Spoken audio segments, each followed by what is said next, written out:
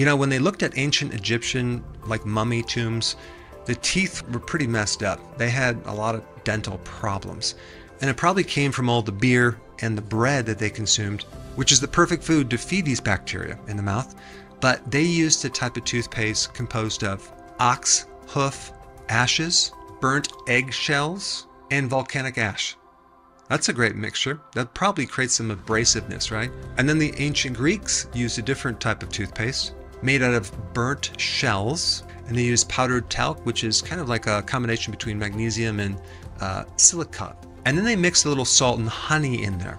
And then the Romans used crushed bones, oyster shells, and charcoal with a little bark, Dr. Eric Berg takes us back in time to explore the fascinating and creative ways ancient civilizations cared for their teeth. From using materials found in nature to crafting unique mixtures, their methods might surprise you, but they laid the foundation for modern dental care.